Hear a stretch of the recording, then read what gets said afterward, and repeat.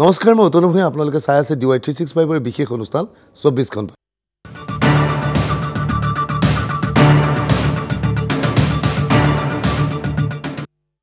আজি আমাৰ এই অনুষ্ঠানত আছে অখিল গগৈ। অখিল গগৈ বহুত বহুত ধন্যবাদ আমাৰ অনুষ্ঠানলৈ অহাৰ বাবে। যে অখিল গগৈ পূৰ্বে এই অনুষ্ঠানত আহিছিল হিমন্ত বিশ্ব শৰ্মা। আৰু অখিল গগৈয়ে বাৰে বাৰে প্ৰত্যাহ্বান জনাই আছিল যে হিমন্ত বিশ্ব শৰ্মাৰ সৈতে তেওঁ মুখামুখিকৈ টক শ্ব'ত বহিব বিচাৰে। আৰু অখিল গগৈৰ এই প্ৰস্তাৱটো আমি হিমন্ত বিশ্ব শৰ্মাৰ ওচৰতো দিছিলোঁ। আমি কিন্তু হিমন্ত বিশ্ব শৰ্মাই ইয়াৰ সংক্ৰান্তত এই চৌব্বিছ ঘণ্টা অনুষ্ঠানতেই এটা প্ৰত্যুত্তৰ আগবঢ়াইছিল।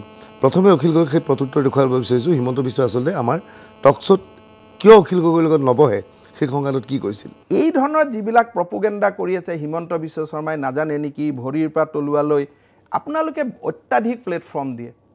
যি মানুহে বাৰে বাৰে প্ৰুভ হৈছে যে এই মানুহবিলাকৰ বিশেষ বাৰে। বাৰে আহ্বান জনাইছে আপোনাৰ সৈতে মুখামুখি হ'ব। তেওঁ- তেওঁ ব্যৱহাৰ যদি ভদ্ৰতা হয় এই ধৰণৰ যদি শব্দ নকয় মইতো তেওঁৰ বিৰুদ্ধে নকয় ভৰিৰ পৰা তললৈ মিছলীয়া তেওঁ যদি নিজকে মাউচেটুং বুলি নাভাবি ভদ্ৰ মানুহৰ লগত দৰে বহেতো বহাত আপত্তি আছে কি আপত্তি আছে?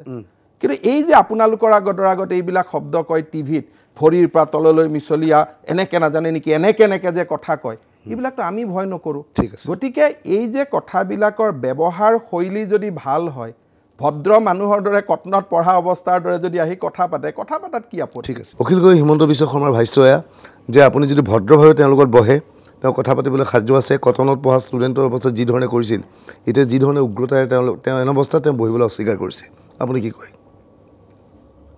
নহয় এনেই হিমন্ত বিশ্ব শৰ্মাৰ লগত বহাৰ কোনো কাৰণেই নাথাকিব নোৱাৰে। আমি অসমৰ মানুহে সকলোৱে জানো যে অসমৰ আটাইতকৈ ভ্ৰষ্টাচাৰী মানুহজনেই হিমন্ত বিশ্ব শৰ্মা আটাইতকৈ সুবিধাবাদী মানুহজনেই হিমন্ত বিশ্ব শৰ্মা আৰু আটাইতকৈ শিষ্টাচাৰবিহীন মানুহজনেই হ'ল হিমন্ত বিশ্ব শৰ্মা। আমি সেই কথাটো সকলোৱে জানো। অসমৰ যিমানকেইটা ডাঙৰ ডাঙৰ কেলেংকাৰী আছে প্ৰত্যেকটো কেলেংকাৰীৰ প্ৰধান খলনায়কেই হ'ল হিমন্ত বিশ্ব শৰ্মা। আৰু অসমৰ ৰাজনীতিত যদি আটাইতকৈ শিষ্টাচাৰবিহীন ভদ্ৰতাবিহীন কাম যদি কোনোবাই কৰিছে তেতিয়াহ'লে নিশ্চিতভাৱে আমি সকলোৱে জানো যে সেইজন হ'ল হিমন্ত বিশ্ব শৰ্মা। গতিকে হিমন্ত বিশ্ব শৰ্মাৰ লগত মই এইকাৰণেহে বিতৰ্ক কৰিম বুলি কৈছিলোঁ যে হিমন্ত বিশ্ব শৰ্মাক সকলোৱে জানে যে তেওঁ মিছা কথা কয় তেওঁ মানে একদম ওলট পালট কথা কয় মিছাক মতাক মাইকী কৰি দিব পৰা মানুহ এজন। একেবাৰে অসমৰ ৰাজনীতিৰ আটাইতকৈ যদি কিবা আটাইতকৈ গণ্ডগোলীয়া মিছলীয়া সাম্প্ৰদায়িক কথা ক'ব পৰা বা ক্ষমতাৰ কাৰণে আটাইতকৈ যদি উল্টা পুল্টা কথা ক'ব পৰা সেই মানুহজনে হ'ল হিমন্ত বিশ্ব শৰ্মা। ঠিক আছে গতিকে মই কৈছোঁ যে তেখেতৰ লগত এনে বিতৰ্ক কৰাৰ কোনো প্ৰশ্ন উঠিব নোৱাৰে কিন্তু এইকাৰণেহে কৈছিলোঁ যে তেওঁ কিছুমান প্ৰশ্ন উত্থাপন কৰিছে যিবিলাক অলপ ধতুৱা মানুহৰ কাৰণে। পঢ়া শুনা বৰকৈ নকৰা মানুহৰ কাৰণে বা ছফ্ট অলপ সাম্প্ৰদায়িক চিন্তা থকা মানুহৰ কাৰণে। সেইবিলাক মানুহৰ কাৰণে কেতিয়াবা কেতিয়াবা কোনোবা কোনোবাই হয়তো কনভিন্স হ'ব পাৰে। গতিকে সেই প্ৰশ্নবিলাকৰ সেই সাম্প্ৰদায়িক প্ৰত্যেকটো প্ৰশ্নৰ উত্তৰ দিয়া অত্যন্ত জৰুৰী বুলি ভাবিছিলোঁ। আৰু সেইকাৰণে তেখেতক মই প্ৰত্যাহ্বান জনাইছিলোঁ। আৰু মই এইটোও কৈছিলোঁ যে ঠিক আছে হিমন্ত বিশ্ব শৰ্মা বহিবলৈ সাহস নাই। কিন্তু হিমন্ত বিশ্ব শৰ্মাৰ যিটো চেনেল সেই চেনেলটোত হিমন্ত বিশ্ব শৰ্মাই যেনেকৈ দুঘণ্টা সাক্ষাৎকাৰ দিছে মোকো দুঘণ্টা সাক্ষাৎকাৰ দিবলৈ দিয়ক। ঠিক আছে ঠিক আছে আমি এটা আমি আপোনাক সেই সুযোগটো দিছোঁ কোনোবা চেনেলে নিদিব পাৰে। আমি হিমন্ত বিশ্বকো দিছিলে বাট হিমন্ত বিশ্বৰ প্ৰসংগটো ইমান ডাঙৰ প্ৰসংগ নহয়। মূল প্ৰসংগ হৈছে নাগৰিকত্ব সংশোধনী বিধেয়ক। তাক লৈ দুটা পক্ষ থিয় দিছে এটা পক্ষত হিমন্ত বিশ্ব শৰ্মা আছে এটা পক্ষত আপোনালোক আছে। আপোনালোকৰ লগত বহু সংগঠন আছে। কিয় আপোনালোকে নাগৰিকত্ব সংশোধনী বিধেয়কৰ বিৰোধিতা কৰিছে? এজন সাধাৰণ মানুহ হিচাপে প্ৰশ্নটো যদি আপোনাক কৰোঁ কি যুক্তিত ইয়াৰ বিৰোধিতা কৰিছে? মই প্ৰথমতে নাগৰিকত্ব সংশোধনী বিধেয়কখনত কি আছে কথাটো কৈ ল'লে চাগে ভাল হ'ব মানুহৰ কাৰণে। নাগৰিকত্ব সংশোধনী বিধেয়কখন ভাৰতৰ নাগৰিকত্ব আইন ঊনৈছশ পঁচপন্নৰ ছয় নম্বৰ সংশোধন। আগতে পাঁচবাৰ হৈছে এইবাৰ ছয় নম্বৰ সংশোধন। এইবাৰ সংশোধন কৰি দুই নম্বৰ ছেকশ্যনটো সলনি কৰিব খোজা হৈছে প্ৰথম। দুই নম্বৰ ছেকশ্যনটোত মানে ইলিগেল মাইগ্ৰেণ্ট কাক কয়? অবৈধ অনুপ্ৰৱেশকাৰী কাক কয় সেই কথাটো লিখি থোৱা আছে। ঠিক আছে। আৰু ইলিগেল মাইগ্ৰেণ্ট মানে কোৱা হৈছে যে পাছপৰ্ট নোহোৱাকৈ ভিছা নোহোৱাকৈ ইলিগেলি যিবিলাকে প্ৰৱেশ কৰে বিদেশৰ পৰা তেওঁলোক সকলো মানুহে ইলিগেল মাইগ্ৰেণ্ট এতিয়া এই বিধেয়কখনত সেইটোক ৰেহাই দি কোৱা হৈছে যে নহয় তিনিখন দেশৰ পৰা অহা মানুহ ইলিগেল মাইগ্ৰেণ্ট নহ'ব আৰু ছটা ধৰ্মৰ মানুহ ইলিগেল মাইগ্ৰেণ্ট নহ'ব। প্ৰথম সেই তিনিখন দেশ হ'ল বাংলাদেশ পাকিস্তান আফগানিস্তান। ছটা ধৰ্ম হ'ল হিন্দু খ্ৰীষ্টান জৈন বৌদ্ধ শিখ আৰু পাৰ্চী। এই ছটা ধৰ্মৰ মানুহ এই তিনিখন দেশৰ পৰা যদি আমাৰ ভাৰতবৰ্ষলৈ পাছপৰ্ট নোহোৱাকৈও লৈ আহে ভিছা নোহোৱাকৈও আহে অৰ্থাৎ অবৈধভাৱে প্ৰৱেশ কৰে। অবৈধ আহে নহয় যে দুহেজাৰ এটা ডেট ঠিক কৰি দিছে দুহেজাৰ চৈধ্য একত্ৰিছ ডিচেম্বৰৰ ভিতৰত যিসকল আহিল এতিয়াতো অহাৰ কথা কোৱা নাই। মই মই দুই নম্বৰ আৰু এটা কথা কৈ লওঁ বিধেয়কখনত আৰু কি আছে। দুই নম্বৰ বিধেয়কখনত লিখা আছে যে আগতে কি আছিলে আগতে নেচাৰেলাইজেশ্যন বুলি আমাৰ নাগৰিকত্ব আইন বা আমাৰ সংবিধানত এটা বস্তু আছে নেচাৰেলাইজ কৰা। যে কোনোবা মানুহে যদি পাছপৰ্ট বা ভিছা লৈ আমাৰ দেশলৈ আহে সেই মানুহজনক যদি আমি এঘাৰ বছৰ আমাৰ দেশত থাকিবলৈ দিওঁ তেতিয়াহ'লে এঘাৰ বছৰ থকাৰ পাছত তেওঁ আমাৰ ভাৰতীয় নাগৰিকত্ব বিচাৰিব পাৰে।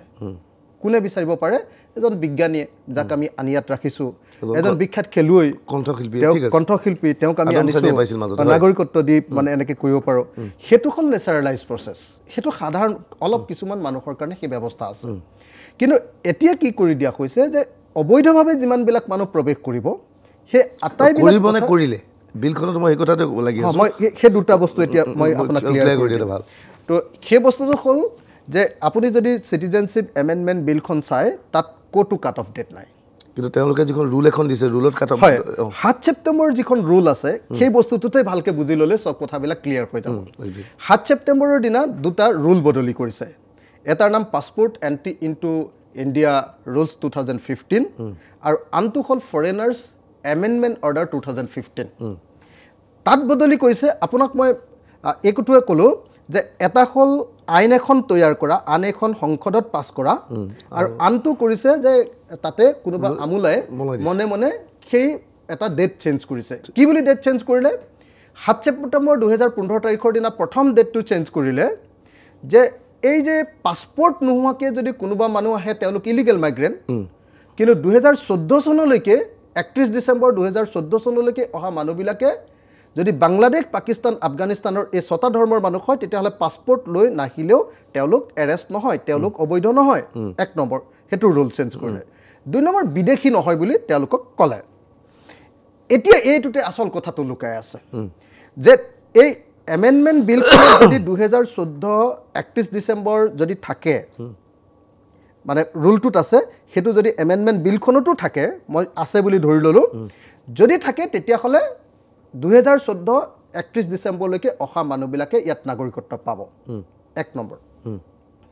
আৰু তাৰ কাৰণে তেওঁলোকে কি কৰিব লাগিব? নাগৰিকত্ব পাবৰ কাৰণে সংসদত সেই ৰাজ্যসভাৰ লোকসভাত দুইখন গৃহীত কৰিব লাগিব। এইটো এটা দীঘলীয়া প্ৰক্ৰিয়া। ঠিক আছে। এইটো এটা লেজিছলেচাৰ লেজিছলেটিভ এটা কাম। এতিয়া দ্বিতীয় কথাটো হ'ল যে বাকী যিটো আপোনাৰ নটিফিকেশ্যন মই যি দুখনৰ নাম ক'লোঁ সাত ছেপ্টেম্বৰৰ সেই দুখন কৰোঁতে কিন্তু অসমৰ মানুহে কোনেও গম পোৱা নাছিলে। সেইখন নৰেন্দ্ৰ মোদীয়ে কাৰোবাক কৈ দিলে কৈ দিয়াৰ পাছত সাত ছেপ্টেম্বৰৰ দিনা সেইখন বনালে আৰু আঠ ছেপ্টেম্বৰৰ দিনা গেজেটত প্ৰকাশ কৰি দিলে। এতিয়া যেতিয়া বিধেয়কখন পাছ হ'ব পাছ হোৱাৰ পাছত নৰেন্দ্ৰ মোদী বা যিকোনো এজন মানুহে কেবিনেটে বা এজন আমোলাই লগে লগে দুহেজাৰ চৈধ্য চনৰ একত্ৰিছ ডিচেম্বৰৰ যিটো কাট অফ দিয়া হৈছে সেইটো আপুনি আঁতৰাই দিলে হৈ গ'ল। এতিয়া সেই প্ৰশ্নটো আমি হিমন্ত বিশ্ব শৰ্মাৰ ওচৰত উত্থাপন কৰিছিলোঁ। হিমন্ত বিশ্ব শৰ্মাৰ যুক্তি হ'ল কোনোবাই যদি দাবী উত্থাপন কৰে ৰুল নহয় এখন বিধেয়কত থাকিব লাগে। তেনেহ'লে তেওঁলোকে বিধেয়কত দিবলৈ ৰাজি আছে। নহয় নহয় কথাটো হ'ল যে এই বিধেয়কখন তৈয়াৰ কৰিবৰ কাৰণেই ৰুলটো চেঞ্জ কৰা হৈছে। ৰুলটো চেঞ্জ নকৰাকৈ বিধেয়কখন তৈয়াৰ কৰিব নোৱাৰে। আৰু কেতিয়াও এটা বিধেয়কত এখন আইনত আইনততো আৰু কাট অফ ডেট নাথাকে। সেইটো হয় ৰুলছত থাকিব নহ'লে অৰ্ডাৰত থাকিব তেওঁ নজনাৰ কাৰণেহে তেওঁ তেওঁ মই এটা কথা কৈছোঁ দেই। বহুত মানুহে ভাবে যে হিমন্ত বিশ্ব শৰ্মা বহুত বিজ্ঞ ৰাজনীতিবিদ বুলি কয়। মই ভাবোঁ যে একদম পাতল এজন ৰাজনীতিক তেওঁ যিমানকেইখন আইন অসমত তৈয়াৰ কৰিছে আটাইকেইখন আইনে হাইকোৰ্টত ৰিজেক্ট হৈছে। ভেঞ্চাৰ স্কুলৰ আইন তাৰপিছত এই কিবা গুটকাৰ কাৰণে যে এখন ধপাতৰ আইন বনাইছিলে তাৰপিছত আকৌ আৰু এখন আইন বনাইছিলে কি নাম আছিলে আপোনাৰ প্ৰত্যেকখন যি তিনিখন আইন বনাইছিলে এতিয়ালৈকে স্কুলৰ এখন আহিছিল হয়, যিকেইখন আইন আনিছিলে আটাইকেইখন আইনকে মানে এখন এখনকে হাইকোৰ্টে চববিলাক অসাংবিধানিক বুলি। কিন্তু এই এই বুলি কিন্তু তেওঁলোকক এই বিধে- এই- এই বিধেয়ক উঠিছে লোকসভা তথা ৰাজ্যসভাত উঠিবলৈ গৈ আছে। নহয় নহয় মই কৈছোঁ মই সেইটো এইটো প্ৰসংগ এইকাৰণে আনিছোঁ যে হিমন্ত বিশ্ব শৰ্মাই বস্তুটো নাজানে। কোনটো বিধেয়কত থাকে কোনটো বিলত থাকে ক'ত আইনত আহে কোনটো বস্তু আৰু কোনটো ৰুলছ বা আপোনাৰ অৰ্ডাৰত থাকে। তো ৰুলছত থাকে কাট অফ ডেট ৰুলছত। যিটো কাট অফ ডেট আছে হয় সেইটো চেঞ্জ কৰি দিব পাৰে। পাৰে যিকোনো মুহূৰ্তত। যিকোনো মুহূৰ্ততে ব্যুৰক্ৰেট এজনে চেঞ্জ কৰি দিব পাৰে। অৰ্থাৎ কেবিনেটে বিধেয়কখন পাৰ হৈ। গ'ল তেওঁলোকে হঠাৎ কৰিলে দুহেজাৰ বিছ চনৰ একত্ৰিছ ডিচেম্বৰলৈকে অহাসকল বৈধ। সেইটো আনলিমিটেড কৰি দিব পাৰে। কাট অফ ডেটটো ডেটটো কাট অফ ডেট দিব লাগিব বুলিতো কথা নাই কাট অফ ডেটটো আঁতৰাই দিব পাৰে। সেই কাট অফ ডেটটো বিধেয়কত থাকিব পাৰে নে নাই? নোৱাৰে। সেইটো নোৱাৰে। আৰু পাৰক বা নোৱাৰক ফাৰ্ষ্ট কথা পাৰক বা নোৱাৰক কেতিয়াও আইন এখনততো আৰু কাট অফ ডেট আমুক তাৰিখলৈকে আহিব থাকে বুলি এইটোতো আইনত নাথাকে। কিন্তু পাৰক বা নোৱাৰক মোৰ কাৰণে আপুনি এটা কথা কওকচোন। তেওঁ কৈছে যে এই বিধেয়কখন যদি গৃহীত হয় তেতিয়াহ'লে আঠ লাখ মানুহ যদিও মই সেই প্ৰশ্নটোৰ উত্তৰ দিম যে আঠ লাখ কিয় নহয় আঠ লাখ মানুহে ইয়াত নাগৰিকত্ব পাব। আঠ লাখ কিয়? আঠজন মানুহক আমি বিদেশী কিয় কিয় কিয় ৰাখিম? ঠিক আছে। এতিয়া মই সেই প্ৰশ্নটো আহোঁ যে চল্লিছ লাখ লোকৰ নাম কৰ্তন গ'ল। কৰ্তন যোৱাৰ পিছত হিমন্ত বিশ্ব শৰ্মা বা অমিত শ্বাহে ক'ব বিচাৰিছে চল্লিছ লাখে অনুপ্ৰৱেশকাৰী। অৱশ্যে কালি হিমন্ত বিশ্ব শৰ্মাই এই ক্ষেত্ৰত স্পষ্টীকৰণ আগবঢ়াইছে। এতিয়া সেই চল্লিছ লাখৰ মাজত আঠ লাখ হিন্দু বঙালী বুলি চৰকাৰৰ ফালৰ পৰা বা হিমন্ত বিশ্ব শৰ্মাৰ ফালৰ পৰা দাবী কৰি থকা হৈছে। আচলতে সেইটো হয়নে নহয়?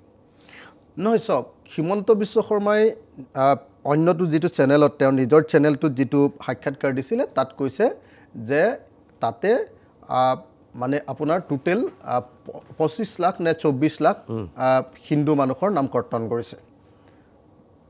তেওঁ কৈছে যে বাইছ লাখ মুছলমান মানুহৰ নাম নহয় বাইছ লাখ হিন্দু মানুহৰ নাম কৰ্তন গৈছে আৰু ওঠৰ লাখ মুছলমান মানুহৰ নাম কৰ্তন গৈছে মানে ফাৰ্ষ্ট ড্ৰাফ্ট ফাইনেল ড্ৰাফ্টত সেই কথাটো তেওঁ কৈছে।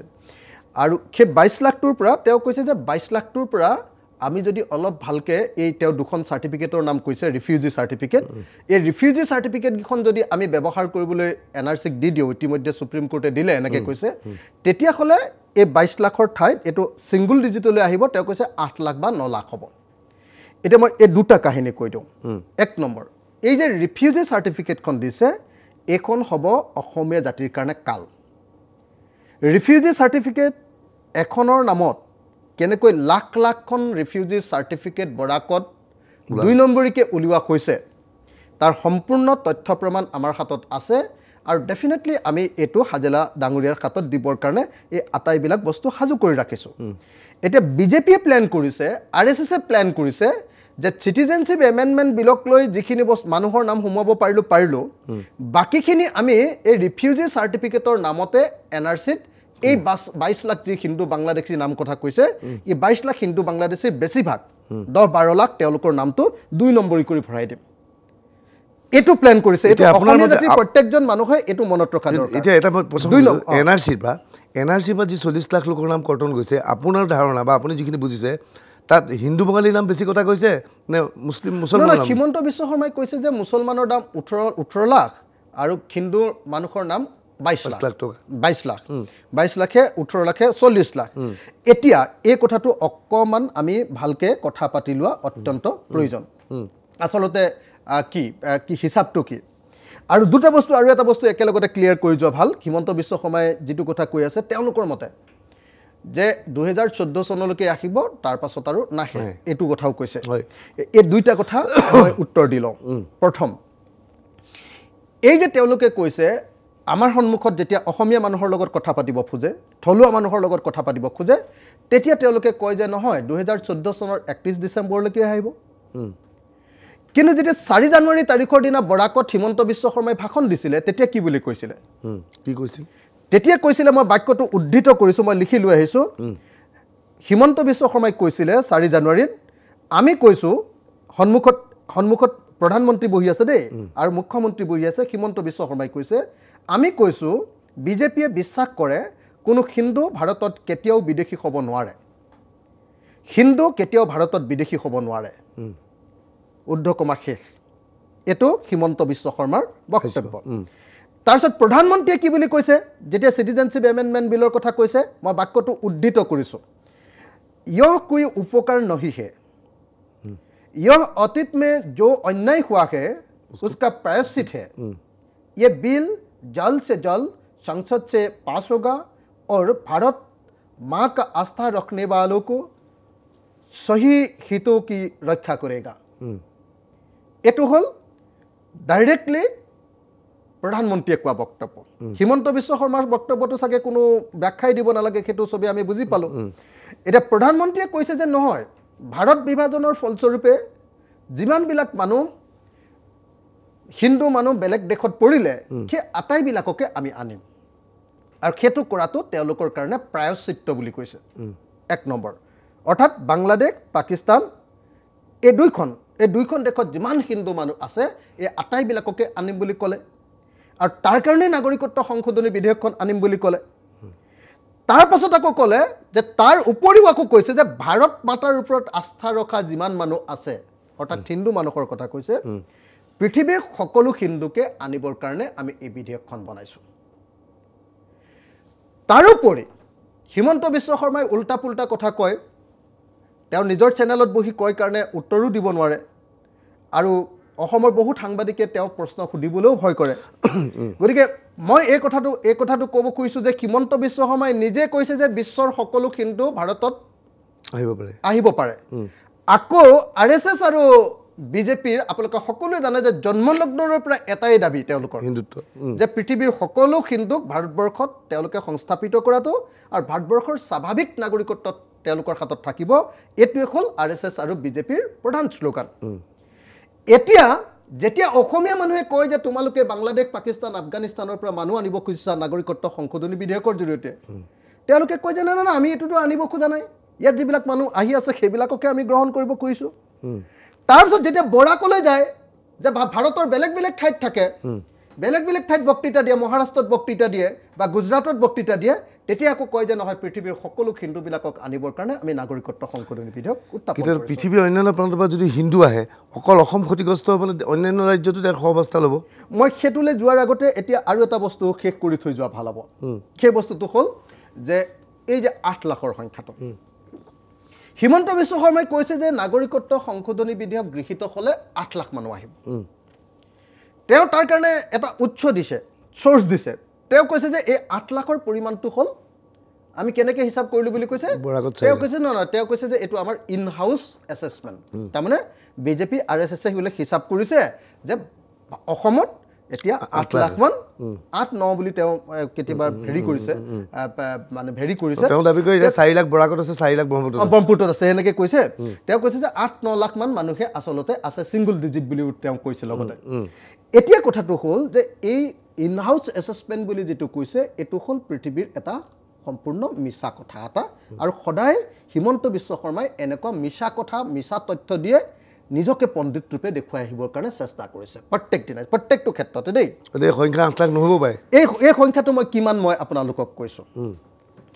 এই সংখ্যাটো যদি আপুনি চাব খোজে তেতিয়াহ'লে আপুনি আমাৰ আগৰ যে ৰাজ্যপাল আছিলে ৰাজ্যপাল S K Sinha S K সিনহাৰ ৰিপৰ্টটো আপুনি পঢ়ি চাব পাৰে। পঞ্চাছ লাখ কৈছে। তাত তেওঁলোকে কেনেকৈ বাংলাদেশৰ পৰা কিমান মানুহ আহি গৈছে সেই কথাটো তাত দেখুৱাইছে। বাংলাদেশৰ চেঞ্চাছ আপুনি চাব পাৰে বাংলাদেশৰ হিন্দু মানুহৰ সংখ্যা কিমান কমিছে পাৰ্চেণ্টেজ ৱাইজ আৰু জনসংখ্যা অনুসৰি আৰু তেওঁলোক কলৈ আহিছে সেই কথাবিলাকো এছ কে সিনহাৰ ৰিপৰ্টত ৰাজ্যপালৰ ৰিপৰ্টত। তেওঁ মুছলমান বাংলাদেশীৰ বিৰুদ্ধেও কৈছে আকৌ দেই একেটা সময়তে। এনেকুৱা নহয় যে তেওঁ অকল হিন্দু বাংলাদেশীৰ বিৰুদ্ধে কৈছে। খালি এওঁলোকৰ আৰু এছ কে সিনহাৰ মাজত ডিফাৰেঞ্চটো এইটোৱে আছিলে যে তেওঁ কৈছিলে যে নহয় মুছলমান বাংলাদেশীয়ে যিমান ক্ষতি কৰিছে একেদৰে হিন্দু বাংলাদেশীয়েও ক্ষতি কৰিব। গতিকে হিন্দু বাংলাদেশীকো ল'ব নালাগে। তাৰপিছত আমাৰ আমি আমাৰ কৃষক মুক্তি সংগ্ৰাম সমিতি আমি মই নিজে আপোনালোকে জানে যে মই নিজে প্ৰত্যেকখন নামনি অসমৰ প্ৰত্যেকখন গাঁও খোজকাঢ়ি পদযাত্ৰা কৰিছোঁ। তিনিমাহ একেৰাগে একেৰাহে পদযাত্ৰা কৰিছিলোঁ আৰু আমি নিজাববীয়াকৈ আমাৰো এটা ইন হাউচ এছেছমেণ্ট কৰিছিলোঁ আমাৰ এছেছমেণ্ট অনুসৰি অসমত থকা হিন্দু বাংলাদেশীৰ সংখ্যা প্ৰায় বিছ লাখ। মই এই সন্দৰ্ভত কথা পাতিছিলোঁ আপোনাৰ এই সন্দৰ্ভত কথা পাতিছিলোঁ দিলীপ পালৰ লগত। দিলীপ পাল মানে বিধানসভাৰ উপাধ্যক্ষ আছিলে এতিয়া পদত্যাগ যে কৰিলে তেখেতৰ লগত মই দীঘলীয়াকৈ কথা পাতিছিলোঁ ঘণ্টা ঘণ্টা ধৰি কথা পাতিছিলোঁ। আৰু কথা পতাৰ পাছত দিলীপ পালে যিহেতু তেওঁ এই গোটেই বিষয়টোৰ লগত জড়িত বেংগলী মানুহবিলাকৰ স্বাৰ্থৰ প্ৰশ্নটোৰ লগত তেওঁ জড়িত তেওঁ কৈছিলে যে অসমত এনেকুৱা নাগৰিকত্ব নথকা এসত্তৰ চনৰ পাছত অহা হিন্দু মানুহৰ সংখ্যা বাংলাদেশী মানুহৰ সংখ্যা পোন্ধৰৰ পৰা বিছ লাখৰ ভিতৰত হ'ব। এতিয়া মোৰ পিনৰ পৰা তথ্য দিছোঁ। মোৰ পিনৰ পৰা এটা এটাকৈ মই তথ্য দিছোঁ। আৰু তেওঁৰ পিনৰ পৰা দিছে কেৱল কিছুমান ঠিক আছে মিছা কথা বুজিছোঁ মানে- কিছুমান ভুৱা কথা। এতিয়া আপোনাৰ অখিল গগৈ ডাঙৰীয়া এতিয়া প্ৰশ্নটো হৈছে আপুনিও যিটো এটা এছেছমেণ্ট দিব আপুনি আপোনাৰ এছেছমেণ্ট দিব হিমন্ত বিশ্ব এটা মই আৰু এটা আৰু এটা তথ্য দি লওঁ। মই আৰু এটা তথ্য দি লওঁ যে ৰাজ্যসভাত এইবাৰ আটাইতকৈ ভাল বক্তব্য নাগৰিকত্ব সংশোধনী বিধেয়ক সন্দৰ্ভত আটাইতকৈ সুস্থ বক্তব্য প্ৰদান কৰিছিলে টি এম চিৰ সৌগত ৰয় নামৰ সাংসদজনে। তেওঁ এজন প্ৰখ্যাত পণ্ডিতো আপোনালোকে লেখকো আপোনালোকে আমি সকলোৱে জানো। সৌগত ৰয়ে যিটো বক্তব্য প্ৰদান কৰিছিলে সেই বক্তব্যত তেখেতে অতি স্পষ্টভাৱে কৈছিলে যে এন আৰ চিত হিন্দু বেংগলী মানুহৰ নাম কৰ্তন গৈছে আঠাইছ লাখ। ঠিক আছে মই অখিল মানে এই নাই, নাই, মই পৰা এন আৰ চিৰ তথ্য আঠাইছ লাখ গৈছে বাইছ লাখ 28 গৈছে আঠ লাখ গৈছে এইটো হয়, বেলেগ প্ৰসংগ। কৃষক মুক্তিৰ সেইটো এন আৰ চি তথ্য, অহা এন আৰ চি অহা সৌগত ৰয় তথ্য হিমন্ত বিশ্ব শৰ্মাৰ বাইছ লাখৰ তথ্য তাৰ পাছত আকৌ দিলীপ পালৰ তথ্য এই আটাইবিলাক আৰু তাৰ পাছত মই ক'লোঁ যে এছ কে সিনহাৰ তথ্য এই আটাইবিলাকৰ পৰা অতি স্পষ্ট যে ঊনৈছশ এসত্তৰ চনৰ চৌব্বিছ মাৰ্চৰ পাছত হিন্দু বাংলাদেশী মানুহ বিদেশী দেই বেংগলী মানুহৰ বিৰুদ্ধে আমাৰ কোনো কথা ক'বলগীয়া নাই। হিন্দু বাংলাদেশী মানুহৰ সংখ্যাটো প্ৰায় বিছ লাখমান হ'ব। ঠিক আছে এইবিলাক এছেছমেণ্ট হয় কিন্তু মই ভাবোঁ যে এন আৰ চিৰ পিছত স্পষ্ট হৈ পৰিব আচলতে কিমান নাই এন আৰ চিৰ পিছতো কিমান স্পষ্ট হ'ব নাজানো কাৰণ অতি স্পষ্ট ভাষাৰে তেওঁলোকে কেনেকৈ এন আৰ চিত হিন্দু বেংগলীৰ নাম সোমোৱাবৰ কাৰণে চেষ্টা কৰিছে এই কথাটো খুব স্পষ্ট হৈ আছে আৰু তাৰ সম্পূৰ্ণ তথ্য পাতি ইতিমধ্যে আমাৰ হাতত আহিছে। কেনেকৈ ৰিফিউজি যিখন ঠিক আছে মই কিমান আহিছে কিমান নাহিছে কিমান আহিছে কিমান নাহিছে সেইটো বেলেগ প্ৰসংগ আমি আলোচনা কৰিবলৈ চেষ্টা কৰিম যে এই মই তাৰপিছত দ্বিতীয় এটা বস্তু দি থৈ গুচি যাওঁ। এইটো তথ্যটো শেষ কৰি দিওঁ। তাৰ পাছত বহুতে কৈ আছে যে আপোনালোকে যে কৈ আছে আমি কওঁ কাৰণে আমাক কয় যে তোমালোকে মিছা কথা কৈছা বিজেপি আৰ এছ এছে এটা কথা কৈ আছে যে তোমালোকে এক কোটি নব্বৈ লাখৰ কথা কৈ আছা। তেওঁলোকে কয় তেওঁলোকে কয় যে এক কোটি নব্বৈ লাখৰ হিচাপটোতো তোমালোকে সদায় মিছা কথা কৈ আছা। এই এক কোটি নব্বৈ লাখৰ হিচাপটো আমি ক'ত পালোঁ? সেই কথাটো মই কৈ থৈ গুচি গ'লেই মানে খুব ভালকৈ সিদ্ধান্তটো শেষ হৈ যাব। আমি ইতিমধ্যে বিছ লাখ আছে বুলি প্ৰমাণ কৰি দেখুৱালোঁ তথ্য সহকাৰে। প্ৰতিবেদন সহকাৰে দেখুৱালোঁ যে এসত্তৰ চনৰ পাছত বিছ লাখ আছে এই বিছ লাখ তাৰ পাছত দুহেজাৰ এঘাৰ চনৰ যিটো বাংলাদেশৰ চেঞ্চাছ সেই বাংলাদেশৰ চেঞ্চাছটোত কৈছে যে বাংলাদেশত দুহেজাৰ এঘাৰ চনত eight point four five four percent Hindu নাগৰিক আছে আৰু এই সংখ্যাটো এক কোটি চল্লিছ লাখ। দুহেজাৰ এঘাৰ চনতে লাষ্ট চেঞ্চাছ হৈছে আৰু তাৰ পাছত আৰু কোনো তথ্য নাই। তাৰ পাছত দুহেজাৰ পোন্ধৰ চনত আকৌ দুহেজাৰ পোন্ধৰ একদম লেটেষ্ট এঘাৰ চনৰ পাছত latest Bangladesh bureau of statistics B B S তেওঁলোকে এটা চেম্পু তেওঁলোকে এটা ছাৰ্ভে কৰি অতি স্পষ্টভাৱে দেখুৱাইছে যে বাংলাদেশত হিন্দু মানুহৰ সংখ্যা ten point four percent ten point seven percent আৰু টেন পইণ্ট ছেভেন পাৰ্চেণ্ট মানে হ'ল বাংলাদেশত হিন্দু মানুহৰ সংখ্যা আছে এক কোটি সত্তৰ লাখ। যিহেতু লেটেষ্ট তথ্যটো হ'ল বাংলাদেশ ব্যুৰো অফ ষ্টেটিষ্টিক্সৰ দুহেজাৰ পোন্ধৰৰ। তাৰ আগৰটো এক কোটি চল্লিছ লাখ এইটো এক কোটি সত্তৰ লাখ। আমি এই বাংলাদেশ ব্যুৰো অফ ষ্টেটিষ্টিক্সৰ সকলোৱে ইণ্টাৰনেটত পাব যিকোনো এজন মানুহে Bangladesh bureau of statistics two thousand fifteen census মাৰি দিলে হৈ গ'ল। তেতিয়াহ'লে দেখিবলৈ পাব যে তাত অতি স্পষ্ট ভাষাত কৈছে যে বাংলাদেশত হিন্দু মানুহৰ সংখ্যা আছে এক কোটি সত্তৰ। যদি নাগৰিকত্ব সংশোধনী বিধেয়ক গৃহীত হয় তেতিয়াহ'লে বাংলাদেশৰ পৰা এই মানুহবিলাক যে আহিব সেই সংখ্যাটো হ'ল বাংলাদেশৰ পৰা মানুহখিনি আহিব বুলি আপুনি কিয় ধৰি লৈছে? নহয় তেওঁলোকে আনিবৰ কাৰণেতো এখন ইনভাইটেশ্যন কাৰ্ড বনাইছে। বাংলাদেশত যিখিনি মানুহ এতিয়া হিন্দুৰ মাজত বহুত যথেষ্ট ৱেল এষ্টাব্লিছমেণ্ট মানুহ আছে একেবাৰে আছে। ধনী মানুহ আছে সেইটোক লৈ সেই মানুহখিনি ব্যাপক ৰূপত এতিয়া প্ৰতিক্ৰিয়া হৈছে হাল্লা হৈছে। বাংলাদেশত এইটোক লৈ ডাঙৰ পলিটিক্স হৈছে এতিয়া। আৰু বাংলাদেশৰ গোটেই হিন্দু মানুহবিলাক আৰু সকলোবিলাক মুছলমানো যিবিলাক বুদ্ধিজীৱী আছে ধৰ্মনিৰপেক্ষ বুদ্ধিজীৱী তেওঁলোকে কৈছে যে এই বিধেয়কখন অনাৰ পাছত এইখন যদি আইনত পৰিণত হৈ যায় তেতিয়াহ'লে মুছলমান মৌলবাদীৰ শক্তি সাংঘাতিক বৃদ্ধি পাব। তেওঁলোকে হিন্দু মুছলমানৰ ৰাজনীতি কৰিবলৈ অত্যন্ত ভাল পাব আৰু তাৰ পাছত বহুত হিন্দু মানুহৰ সম্পত্তি তাৰ পাছত কিন্তু। কাঢ়ি লৈ ল'ব। অখিল মতে বাণিজ্যিক বিৰতি ল'ম বাণিজ্যিক বিৰতিৰ পিছত মই জানিব বিচাৰিম যে এই মানুহখিনি যদি আহে আপুনি এক কোটি নব্বৈ কোনোবাই বিছ লাখ বাইছ লাখ যিয়ে নহওক বিছ লাখো যথেষ্ট ডাঙৰ ফিগাৰ নহয় আঠ লাখো ডাঙৰ মানুহ ফিগাৰ নহয় এই মানুহখিনি আহিলে অসমীয়াই কিয় অস্তিত্বৰ সংকটত ভুগিব বুলি আপুনি ভাবে? সেয়া পাতিম এটা বাণিজ্যিক বিৰতিৰ পিছত।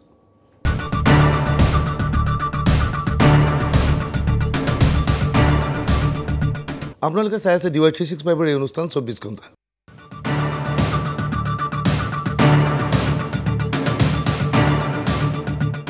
আমাৰ লগত আছে অখিল গগৈ।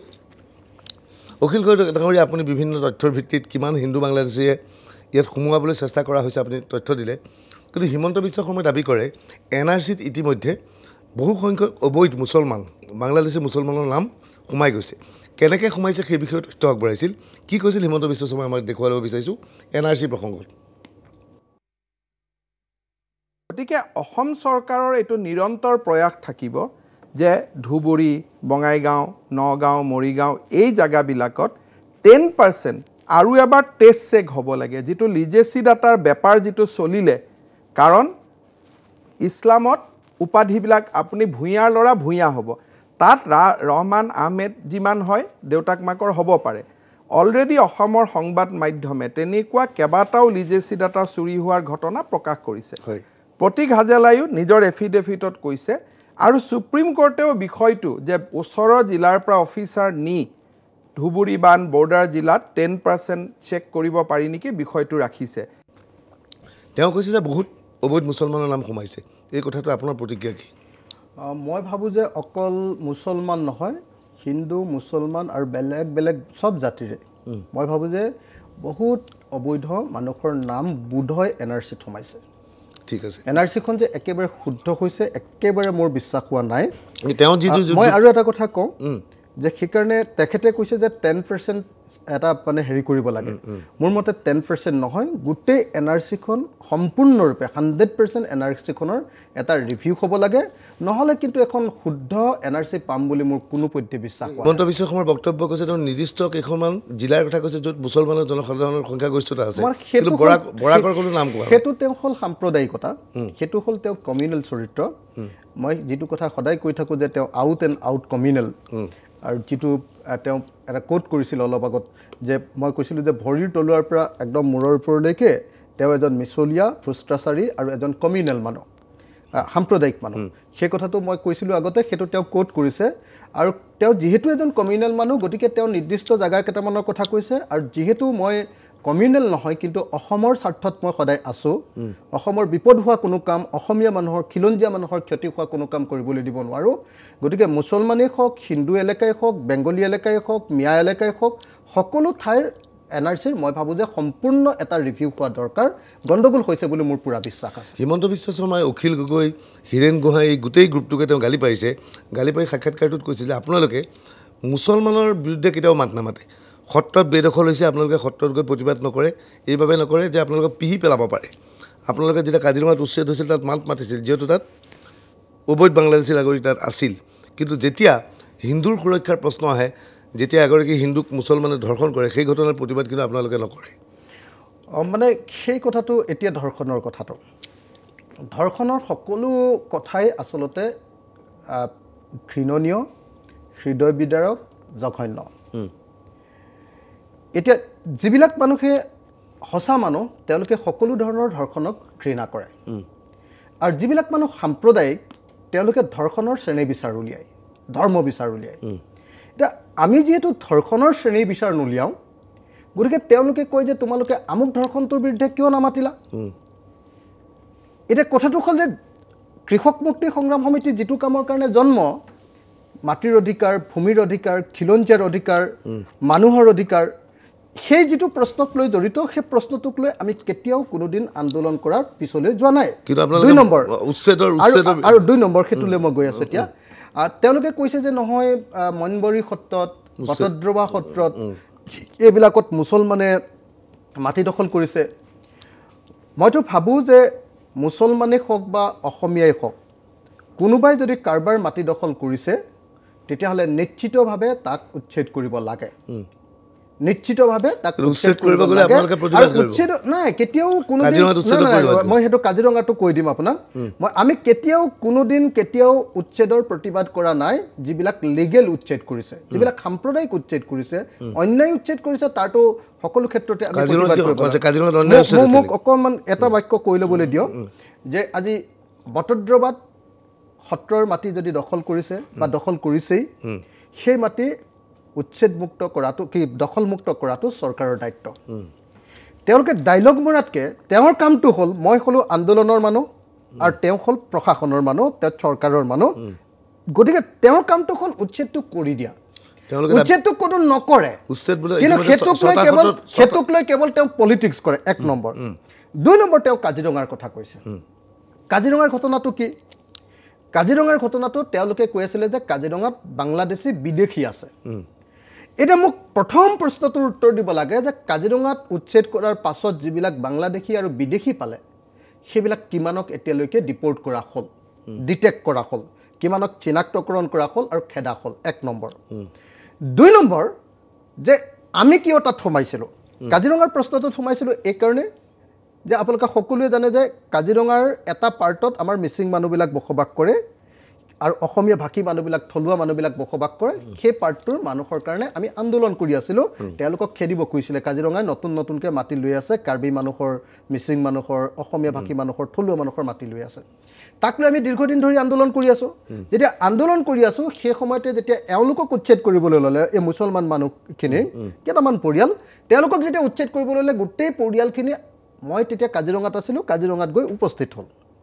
উপস্থিত হোৱাৰ পাছত তেওঁলোকে মোক কল দেখুৱালে তথ্যবিলাক যে তেওঁলোক ঊনৈছশ পঁয়ষষ্ঠি চনৰ পৰা ম্যাদী পট্টাৰ মাটিত আছে। ম্যাদী পট্টাৰ মাটিত। তেতিয়া গোটেই কাগজ পত্ৰবিলাক যেতিয়া চালোঁ তেতিয়া মই নিজেই আহিলোঁ। নিজে আহি হিমন্ত বিশ্ব শৰ্মাক কলিয়াবৰ চাৰ্কিট হাউচত লগ ধৰিলোঁ। কলিয়াবৰ চাৰ্কিট হাউচত লগ ধৰিলোঁ। আচলতে মই আহিছিলোঁ কলিয়াবৰ এছ ডি অ'ৰ তাত। হ'বলগীয়া মিটিংখনত তেওঁ ক'লে যে অখিল গগৈ থাকিলে তাত মই মিটিঙত নবহোঁ মই পাৰ্চনেলি অখিল গগৈক লগ ধৰিম। মই কেইজনমান সতীৰ্থক লৈ তালৈ আহিলোঁ আমাৰ ৰাজু বৰা সভাপতিকে ধৰি।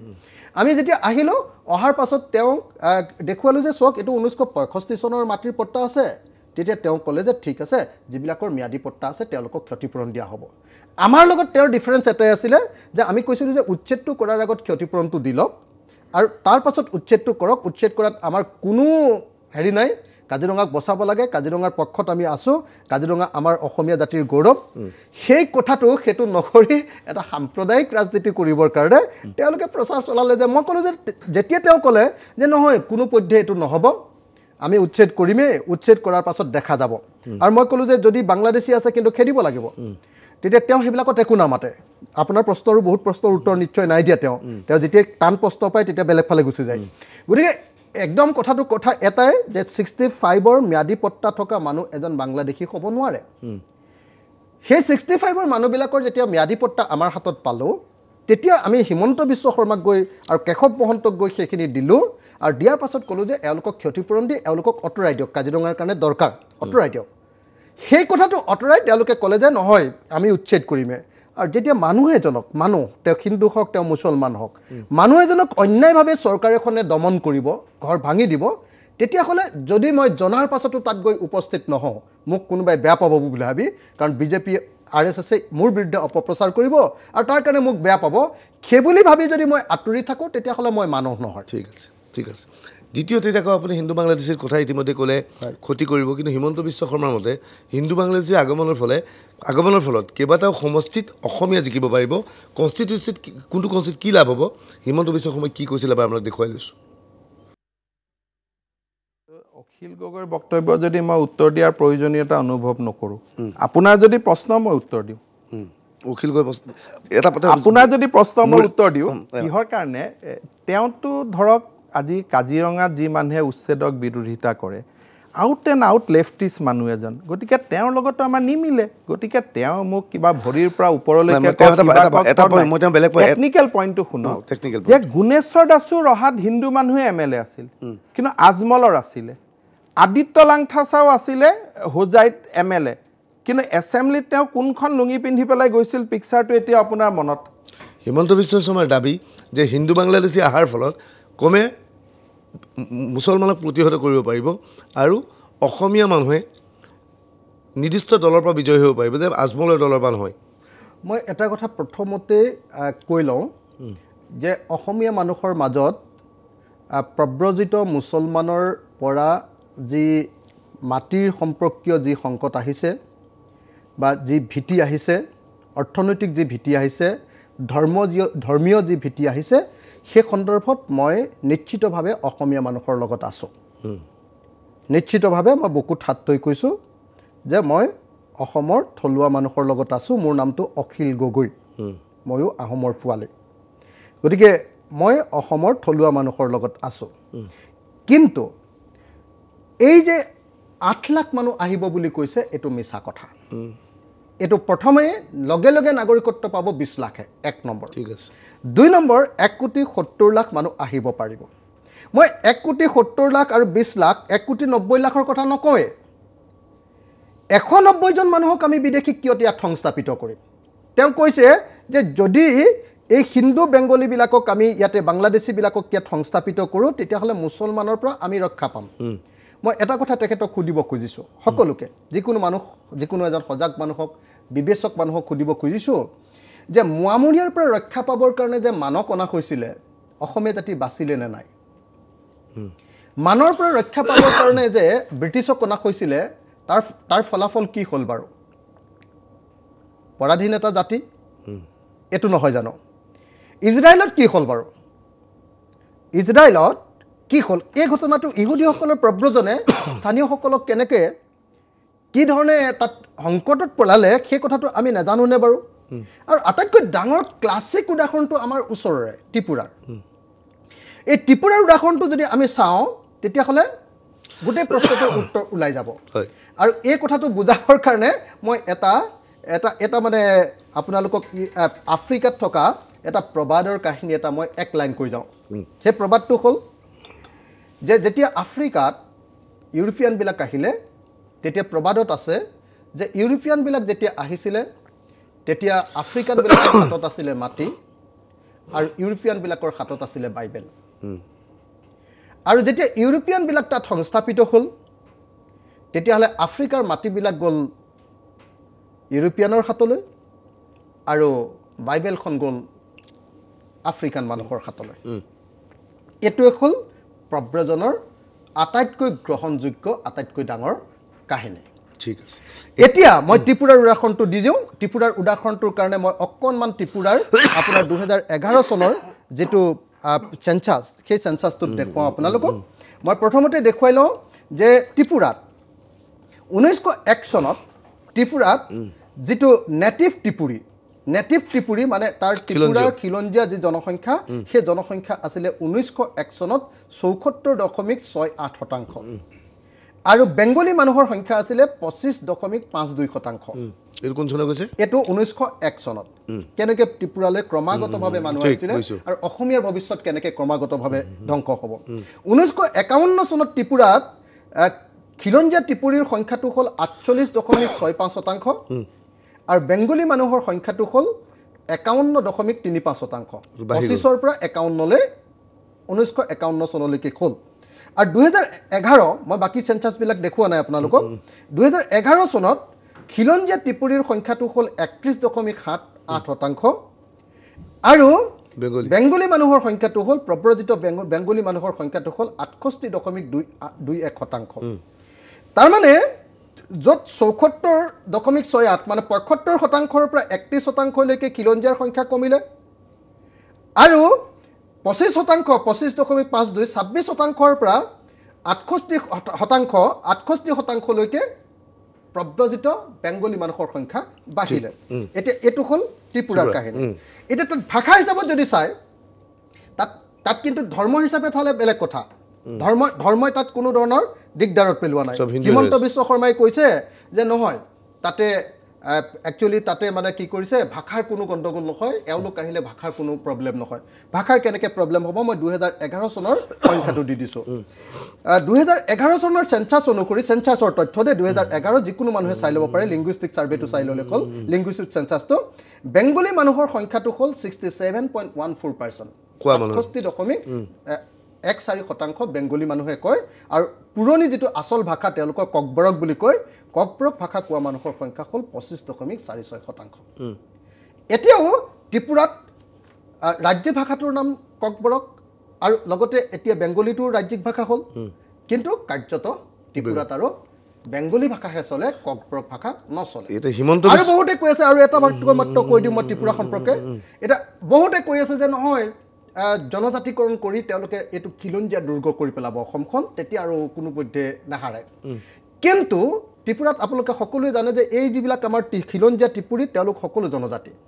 তেওঁলোকৰ ছিক্স চিডিউল এলেকা আছে। মই নিজে কেইবাবাৰো ভ্ৰমণ কৰিছোঁ ছিক্স চিডিউলৰ কাৰ্যালয়লৈ গৈছোঁ স্বায়ত্তশাসিত পৰিষদৰ কাৰ্যালয়লৈ গৈছোঁ তেওঁলোকৰ চিফৰ লগত বহিছোঁ তেওঁলোকৰ মানুহবিলাকৰ লগত কথা পাতিছোঁ।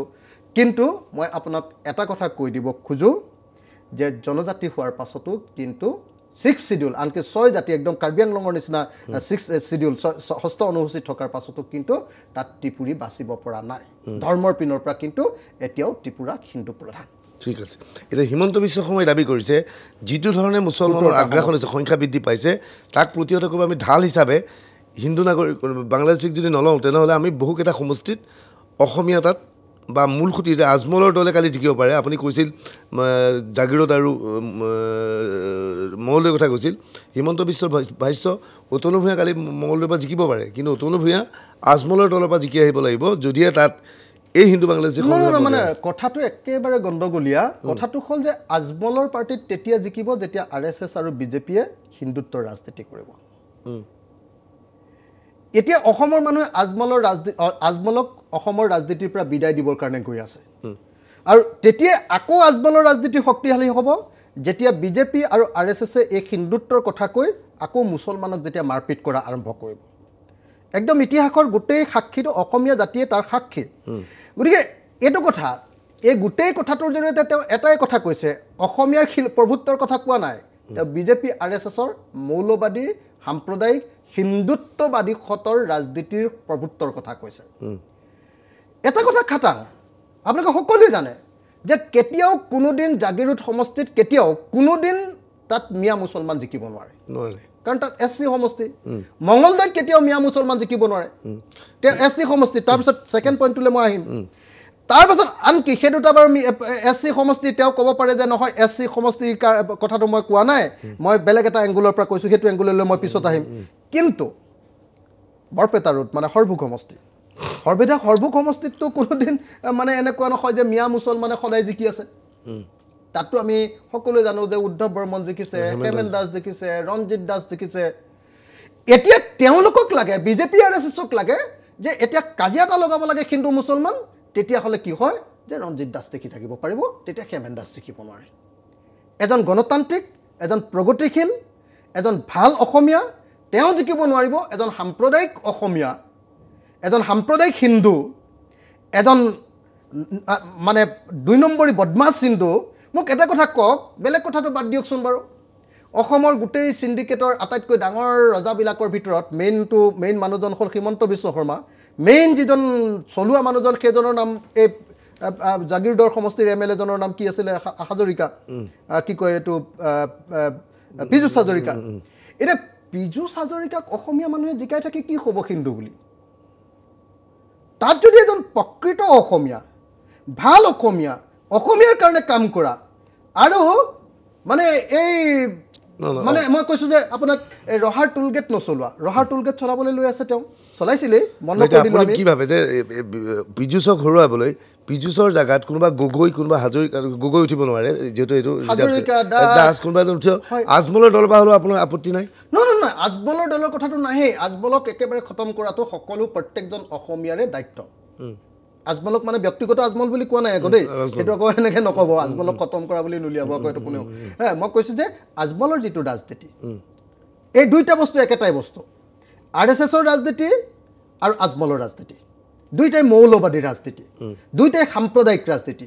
এটা হিন্দুৰ ৰাজনীতি এটা মুছলমানৰ ৰাজনীতি। এই দুইটাক আঁতৰ কৰাটোহে প্ৰত্যেকজন দেশপ্ৰেমিক অসমীয়াৰ কৰ্তব্য। এতিয়া আগন্তুক নিৰ্বাচন আহি আছে এই দুটাক বাদ দি আপুনি কোন দলক সমৰ্থন জনাব যে কংগ্ৰেছক সমৰ্থন জনাব বিচাৰে? নহয় মই ভাবোঁ যে মই ভাবোঁ যে বিজেপি আৰু আজমলক একেবাৰে দুহেজাৰ ঊনৈছৰ নিৰ্বাচনত একেবাৰে আমি চাফা কৰি দিব লাগে। আৰু এবাৰ চাফা হ'ব কনফাৰ্ম চাফা হ'লে একদম চাফা হ'ব আৰু আমি নিজে লাগিম এবাৰ। বিজেপিক চাফা কৰি দিব লাগিব আৰু আজমলক চাফা কৰি দিব লাগিব।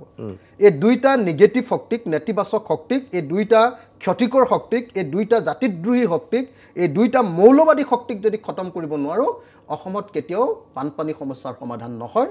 অসমৰ থলুৱা মানুহে কেতিয়াও মাটিৰ পট্টা নাপায় অসমত কেতিয়াও বছৰত তিনিবাৰ খেতি কৰাৰ ব্যৱস্থা নহয় অসমৰ প্ৰত্যেকডৰা পথাৰত জলসিঞ্চনৰ ব্যৱস্থা বা অসমৰ খিলঞ্জীয়া মানুহৰ হাতলৈ উদ্যোগ অহা বা ব্যৱসায় বাণিজ্য অসমীয়া মানুহৰ হাতলৈ অহা বা কেৰেলাৰ পৰা অসমীয়া ল'ৰাটোৱে ঘূৰি আহি অসমত কাম কৰাৰ অৱস্থাটো নাহে। গগৈ এইখিনিতে এটা প্ৰশ্ন যে যে অখিল গগৈ এতিয়া বিভিন্ন সময়ত আন্দোলন কৰে যদিও অখিল গগৈৰ আন্দোলনৰ লগত খিলঞ্জীয়া অসমীয়া জড়িত নহয় আপোনালোকৰ সৈতে জড়িত ধৰ্মীয় সংখ্যালঘু বিশেষকৈ মুছলমানসকল আপোনাৰ সৈতে অনুগামী। হিমন্ত বিশ্ব এনেকুৱা মন্তব্য আগবঢ়াইছে পৰোক্ষ বা প্ৰত্যক্ষভাৱে। ছ'চিয়েল নেটৱৰ্কিং ছাইডত আপোনাক সমৰ্থন জনাবলৈ যিখিনি আহে এক বিশেষ সম্প্ৰদায়ৰ লোক। মূল সুঁতি খিলঞ্জীয়া আপোনাৰ লগত নাই। মানে হিমন্ত বিশ্ব শৰ্মাইতো আনকি যদি আপুনি প্ৰশ্ন কৰে আপোনাকো মানে মুছলমানৰ প্ৰতিনিধি বুলি ক'ব। তেওঁ তেনেকুৱা এজন সাম্প্ৰদায়িক মানুহ। মই অখিল গগৈ আমাৰ কৃষক মুক্তি সংগ্ৰাম সমিতিৰ মই উপদেষ্টা মুখ্য উপদেষ্টা উপদেষ্টা। আমাৰ ৰাজু বৰা এজন গৰ্বিত অসমীয়া। আমাৰ সভা সভাপতি ৰাজু বৰা কাৰ্যকৰী সভাপতি অনিল বড়ো তেওঁ এজন গৰ্বিত অসমীয়া অসমৰ খিলঞ্জীয়া অসমীয়া জনজাতি অসমীয়া। আমাৰ যুটীয়া সাধাৰণ সম্পাদক ধৈৰ্য কোঁৱৰ আমাৰ যুটীয়া সাধাৰণ সম্পাদক মুকুট ডেকা প্ৰত্যেকে একো একোজন খিলঞ্জীয়া গৰ্বিত অসমীয়া। আপোনালোকৰ লগত মই এইটোৱে কৈছোঁ আমাৰ মাজত আৰু বেলেগ সংগঠনৰ সাম্প্ৰদায়িক সংগঠনৰ মাজত ডিফাৰেঞ্চ এইটোৱে যে আমাৰ সংগঠনত আমি হিন্দু আৰু মুছলমান হিচাপে মানুহ ভাগ নকৰোঁ। স্বদেশী আৰু বিদেশী হিচাপে আমি ভাগ কৰোঁ। আমাৰ সংগঠনৰ কেইবা কোনোবা কোনোবা কাৰ্যসূচীত হয়তো ধৰক দহ হাজাৰ মানুহ গোট খালে তাৰ এশ মানুহ কেতিয়াবা মুছলমান আহে দুশ মানুহ মুছলমান আহে এতিয়া কিছুমান মানুহ আছে আগতে এনেকুৱা অসমৰ পৰম্পৰা আছিলে যে আমি সম্প্ৰীতিৰ কথা ক'বলৈ এটা প্ৰচেছনৰ আগফালে এজন মুছলমান মানুহক খাৰা কৰোঁ। এতিয়া এটা প্ৰচেছনত যদি দহ হাজাৰ মানুহৰ ভিতৰত এশ মুছলমান মানুহ থাকে তেতিয়াহ'লে সেইটোক কয় যে অ' এইটো বাংলাদেশীৰ পাৰ্টি। এই যিটো পৰিৱেশ সৃষ্টি কৰিছে এই সাম্প্ৰদায়িক মৌলবাদী আৰু জঘন্য পলিটিক্স তৈয়াৰ কৰিছে এই পলিটিক্সত মই ভাবোঁ যে কোনো অসমীয়া তাতে সন্ত্ৰাসিতও হ'ব নালাগে তাত সোমাবও নালাগে আৰু কোনো অসমীয়াই ভয়ো খাব নালাগে। আৰু সেইকাৰণে মই বুকুত হাত থৈ সদায় কওঁ যে হিমন্ত বিশ্ব শৰ্মাতকৈ মই এহেজাৰ গুণ ভাল অসমীয়া। ঠিক আছে। হিমন্ত বিশ্ব শৰ্মাই আজমলৰ নেত আজমল যদি অসমৰ মুখ্যমন্ত্ৰী হয় বা এই সমগ্ৰ বিষয়টো সংক্ৰান্তত এক বক্তব্য আগবঢ়াইছিল সেই বক্তব্য এবাৰ দেখুৱাই ল'ব বিচাৰিছোঁ। মোৰ পাৰ্থক্য। আপুনি কৈছে যে অসমখনত আজমল মুখ্যমন্ত্ৰী হওক যদি গণতান্ত্ৰিকভাৱে হয় আমাৰ আপত্তি হয়। সেইটো মোৰ আপত্তি আছে। এতিয়া ডেট ইজ এ বিচাৰধাৰা মোৰটো এটা বিচাৰধাৰা। মোৰ আপত্তি আছে আপোনাৰ আপত্তি নাই। এইটো বিচাৰধাৰাৰ সংঘাত। এতিয়া যোন ৰাইজে যাৰ ফালে থিয় হৈ হ'ব। আপুনি আপুনি কিয় মই বিচাৰোঁ যে ভাৰতত অসমত অসমীয়া লাচিত চুকাফাৰ বংশৰ মানুহ এজন অন্তত অসমখনত শংকৰদেৱৰ মানুহ এজন অসমখনত এনেকুৱা মানুহৰ দপদপনি থাকক যিটো আমাৰ সমুজ্জ্বল ভট্টই কয় যে অসমখনত খিলঞ্জীয়াৰ দপদপনি হ'ব লাগে। হ'লেতো ভাল কথা। উপায়তো নাই এতিয়া খিলঞ্জীয়াইতো আৰু দপদপাব নোৱাৰে জনগাঁথনি অন্ততঃ। অসমীয়াৰ দপদপনি হৈ থাকক। হিন্দু বঙালী থাকিলে অসমীয়া দপদপনি থাকে Definitely, আপুনি because- উদাহৰণ আজ তেওঁ আজমল মুখ্যমন্ত্ৰী হোৱাটো বিচাৰে নিবিচাৰে এজন মুছলমান মুখ্যমন্ত্ৰী হোৱাটো নিবিচাৰে। কিন্তু তেওঁ কৈছে যে অসমীয়া দপদপাই থকাটো বিচাৰে আৰু হিন্দু বাংলাদেশী আহিলে অসমীয়া দপদপাই থাকিব পাৰিব। নহয় চাওক যদি নামটো আজমল হয় তেতিয়াহ'লে আজমলক দত্তপাই থকাটো মোৰ নিবিচাৰোঁ। ঠিক আজমল এটা প্ৰতীক আজমল মুছলমানসকলৰ প্ৰতীক নেকি? না মানে আজমল মুছলমানসকলৰ প্ৰতীক নহয়। আজমল হ'ল সাম্প্ৰদায়িক মুছলমানসকলৰ প্ৰতীক। আৰু সেই তেওঁৰ দপদপনি আমি কোনেও নিবিচাৰোঁ। সাম্প্ৰদায়িকতাৰ ভিত্তিত মুছলমান পাৰ্টি এটা যি তৈয়াৰ কৰিব তেওঁৰ লগত কোনো মানুহ থকা উচিত নহয়। হিন্দুৰ পাৰ্টি এটা যেতিয়া তৈয়াৰ কৰিব তেওঁৰ লগতো তেনেকৈ হিমন্ত বিশ্ব বা আচলতে সৰ্বানন্দ সোণোৱালৰ লগতো কোনো থকা উচিত নহয়। গতিকে মই ভাবোঁ যে Ajmal is equal to Himanta Biswa Sarma. Ajmal যেনেকুৱা এজন সাম্প্ৰদায়িক আৰু মৌলবাদী যাক আমি গ্ৰহণ কৰা উচিত নহয় তেনেকৈ হিমন্ত বা সৰ্বানন্দ তেওঁলোকো এজন সাম্প্ৰদায়িক আৰু মৌলবাদী একো একোজন ৰাজনীতিক মানুহ। গতিকে তেওঁলোক দুইজনকে আমি সমানে ঘৃণা কৰিবলৈ যেতিয়ালৈকে শিকিব নোৱাৰিম তেতিয়ালৈকে অসমীয়া জাতিৰ প্ৰকৃত মুক্তি কেতিয়াও সম্ভৱপৰ নহ'ব। হিমন্ত বিশ্ব শৰ্মাই কৈছে যে অসমীয়া আমি এতিয়া মৃত্যুৰ পৰা ৰক্ষা পাবলৈ এখন ঢাল লোৱা দৰকাৰ আৰু সেই ঢালখন অসমীয়াৰ ঢাল হিন্দু বাংলাদেশী বুলি কৈছে যে মোৰ ঢালৰ প্ৰয়োজন ভৱিষ্যত প্ৰজন্মৰ বাবে এখন ঢালৰ প্ৰয়োজন। সেইটো হিমন্ত বিশ্ব শৰ্মাৰ ছাজেশ্যন এতিয়া কৈছে তেওঁ প্ৰশ্ন খুজিছে আনৰ কিবা ছাজেশ্যন আছে নেকি? অসমীয়া অস্তিত্ব বাচিবলৈ আন কি ছাজেশ্যন আছে? কি পৰামৰ্শ আছে আপোনাৰ? ন মানে মই হিমন্ত বিশ্ব শৰ্মাক একো পৰামৰ্শ দিব নোখোজোঁ। অসমৰ ৰাইজক কি কয়? হিমন্ত- হিমন্ত বিশ্ব শৰ্মাক যদি পৰামৰ্শ কোনোবাই দিয়ে তেতিয়াহ'লে তেওঁৰ পৰামৰ্শত এটা খোৱা মানুহজন নিশ্চিতভাৱে বেয়া মানুহ হ'ব লাগিব। মই অসমৰ মানুহৰ কাৰণে বাৰু কথাটো ক'ম সেইটো বেলেগ কথা এটা। কিন্তু মানে হিমন্ত বিশ্ব শৰ্মাই কি কৰি আছে আপুনি চাওক। হিমন্ত বিশ্ব শৰ্মাই দেখুৱাব খুজিছে যেনে এই যে হিন্দু বাংলাদেশীক আনিব কৈছে সেইটো মানে তেওঁলোকে বেলেগ একো কাৰণত নহয় তেওঁলোকৰ ৰাজনৈতিক স্বাৰ্থৰ কাৰণে নহয়। হিন্দু বাংলাদেশী আনিলে বিজেপিৰ একো লাভ নহয়। বৰং বিজেপিৰ লোকচান হ'ব ইলেকশ্যনত হাৰিব। কিন্তু তাৰ পাছতো সকলো ত্যাগ কৰি মানে তেওঁ হিন্দু বাংলাদেশীক আনিব কৈছে কাৰণ তেতিয়াহে অসমীয়া জাতি বাচিব। আৰু অসমীয়া জাতিক বাচিবৰ কাৰণে তেওঁ মানে এইটো হিন্দু বাংলাদেশীক অনাৰ কথা কৈছে। কোনে কৈছে? অসমৰ আটাইতকৈ ভ্ৰষ্টাচাৰী আটাইতকৈ অশিষ্টাচাৰী আটাইতকৈ আটাইতকৈ বদমাছ আৰু আটাইতকৈ সাম্প্ৰদায়িক ৰাজনীতিকজনে কৈছে যে এইধৰণে কৈছে। আৰু বহুত মানুহ কিছুমান অলপ দতুৱা মানুহ আছে পঢ়া শুনা নাই ভিতৰলৈকে নপঢ়ে। সেই মানুহবিলাকে কোনো মানে ভালকৈ বুজি নলয় কথাবিলাক উপলব্ধি কৰিবলৈ যত্ন নকৰে। কেৱল সাম্প্ৰদায়িক কথা বহুত দিন শুনি শুনি শুনি শুনি মানে গোৱেবলছৰ যেনেকৈ বহুতেতো হিটলাৰকো ভাত পায় ন? সেই ধৰণৰ কথাবিলাক ক'ব খোজে। এতিয়া মানে এনেকুৱা দেখুৱাব খোজে যে হিমন্ত বিশ্ব শৰ্মা আৰু আৰ এছ এছ বিজেপি এটা ত্যাগৰ প্ৰতীক। যেনেকৈ আমাৰ ভাৰতীয়? মই- কৈ লৈছোঁ। ভাৰতীয় আদৰ্শত যেনেকৈ শিৱ এজন ত্যাগৰ প্ৰতীক শিৱক মানুহে সকলোৱে শ্ৰদ্ধা কৰে ত্যাগ আৰু সুদাৰতাৰ প্ৰতীক বুলি ভাবে। সেইটো এটা এইকাৰণে যে তেওঁ বিষ পান কৰিছিল মানৱ কল্যাণৰ কাৰণে। কিন্তু তো তেওঁক সেইকাৰণে দেৱতাই হওক বা অসুৰে হওক সকলোৱে তেওঁক ধন্য ধন্য বুলি কয় শিৱক কয়। এতিয়া এওঁ কয় যে মই একদম বিষ পান কৰি মানে অসমীয়াৰ কাৰণে এনেকুৱা এটা কাম কৰিছোঁ যে বিজেপি আৰ এছ এছে এনেকুৱা এটা কাম কৰিছে যে একদম এনেকুৱা। তাৰ বিপৰীতে কি? হিমন্ত বিশ্ব শৰ্মা কওঁ যে ভোগ লোভ সংকীৰ্ণতা আৰু পাপৰ প্ৰতীক। য'ত লাভ আছে তাতে হিমন্ত। এইটোতো আমি সকলোৱে জানো। হিমন্তৰ জীৱনে তাৰ প্ৰমাণ।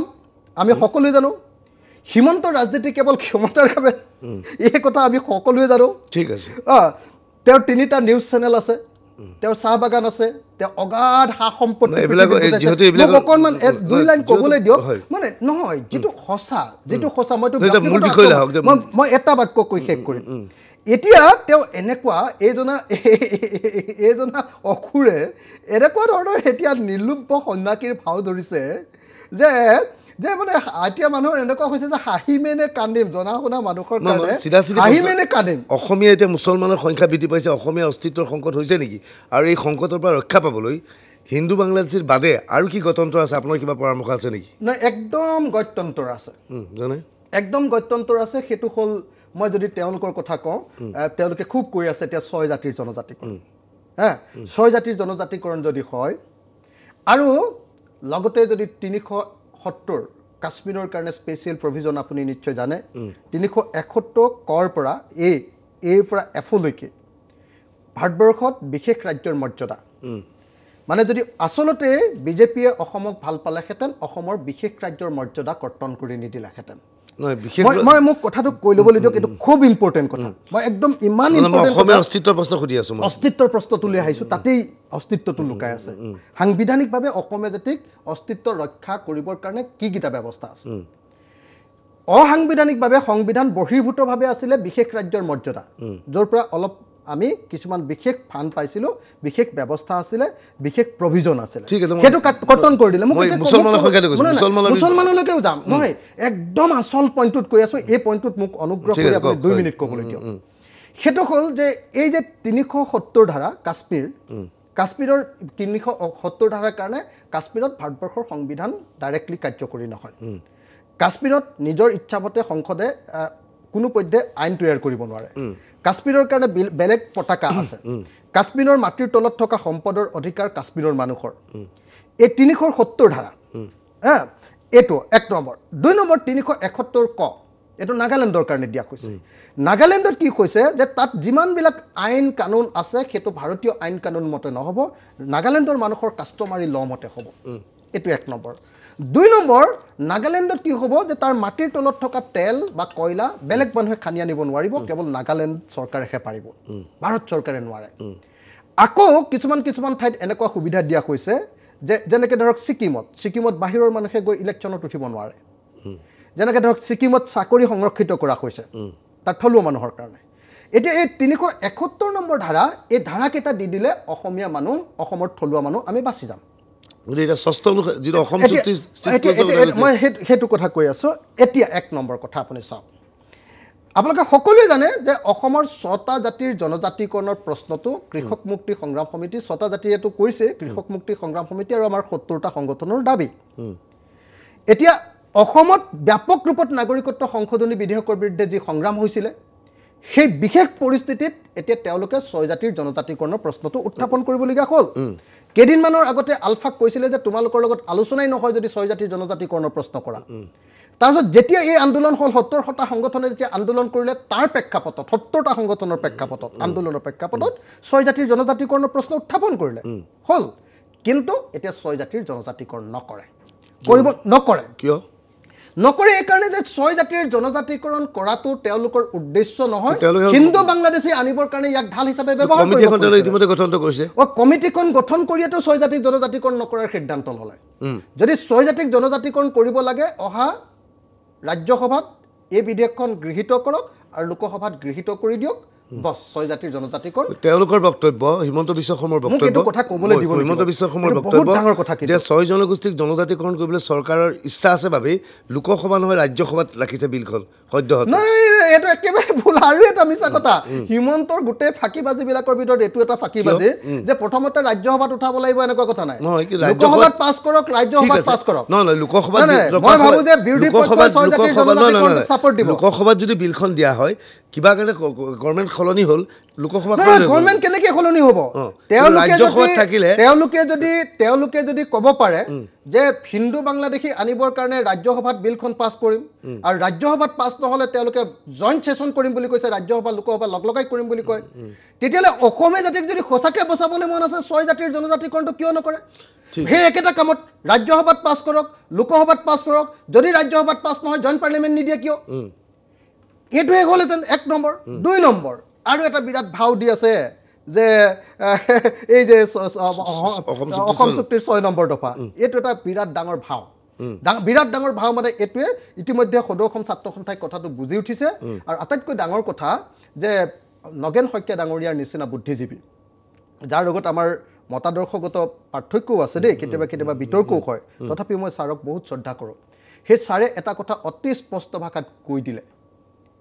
যে বিজেপিৰ খাদ্য কৰিবৰ কাৰণে অসমক বিজেপিৰ খাদ্য কৰিবৰ কাৰণে মই কমিটিৰ সদস্য হ'ব নোৱাৰোঁ। যিটো নগেন শইকীয়া ছাৰে বুজি পাইছে। যিটো সদৌ অসম ছাত্ৰ হিমন্ত বিশ্ব শৰ্মাই এটা বাক্য হিমন্ত বিশ্ব এই কমিটিৰ অধিকাংশ সদস্যৰ সৈতে আগতীয়াকৈ অনুমতি লৈছিল যে মই- আপোনালোকৰ কমিটি মই সেইটোৱে কথা কৈ আছোঁ যে এই কমিটিৰ সদস্যসকলৰ অনুমতি লোৱাৰ পাছতো কমিটিত সভাপতিও নাথাকিল নগেন শইকীয়া ছাৰকে ধৰি বেছিভাগ মানুহে নাথাকিল। এইকাৰণে যে বিজেপিৰ প্ৰকৃত চৰিত্ৰ তেওঁলোকে বুজি পালে। এতিয়া ছয় জাতিয়ে যদি এই কথাটো বুজি পায় নেতৃবৰ্গই তেতিয়া হ'লেও এই যে নতুন কমিটিখন হৈছে এই নতুন কমিটিখন বৰ্জন কৰিব লাগিব আৰু ছয় জাতিৰ নেতৃবৰ্গই এটাই দাবী উত্থাপন কৰিব লাগিব যে এই ছয় জাতিৰ জনজাতিকৰণৰ কাৰণে এই যিখন বিল উত্থাপন হৈছে এই বিলখন এজ ইট ইজ লোকসভাত পাছ হওক অহা আগন্তুক অধিৱেশনত আৰু ৰাজ্যসভাত পাছ হওক আৰু যদি ৰাজ্যসভাত কোনোবাই বিৰোধী পক্ষই বিৰোধিতা কৰে মোৰ মতে নকৰে হাণ্ড্ৰেড পাৰ্চেণ্ট ছাপৰ্ট দিব চবে। যদি কোনোবাই বিৰোধিতা কৰে তেতিয়াহ'লে সেইটো জইণ্ট পাৰ্লিয়ামেণ্ট পাতক জইণ্ট ছেছন পাতক। তেতিয়াহ'লে মই ভাবোঁ যে অসমীয়া জাতিৰ প্ৰকৃত এতিয়া কমিটিখন কিয় গঠন কৰা হ'ল? যে বড়োৰ ফালৰ প্ৰ- প্ৰতিবাদ কৰা হ'ল হাগ্ৰামা মহিলাৰ ফালৰ পৰা প্ৰতিবাদ কৰা হ'ল সেইবাবেহে কমিটিখন গঠন কৰা হ'ল নেকি? একেবাৰে কথাটো হ'ল যে হাগ্ৰামা মহিলাৰীয়ে ক'লে মই নিজে জানো ভালকৈ জানো যে ডাইৰেক্টলি মুখ্যমন্ত্ৰীৰ ওচৰলৈ গৈছে ধমকি লগাইছে হাগ্ৰামাই ধমকি লগাইছে। যিহেতু কেতিয়াও হ'ব নোৱাৰিব। তাৰপিছত কৈছে তাৰ পিছদিনা আকৌ লগ ধৰিছে চন্দন বৰ্মৰ লগত। লগ ধৰি কৈছে যে আপুনি দিল্লী যাব লাগিব।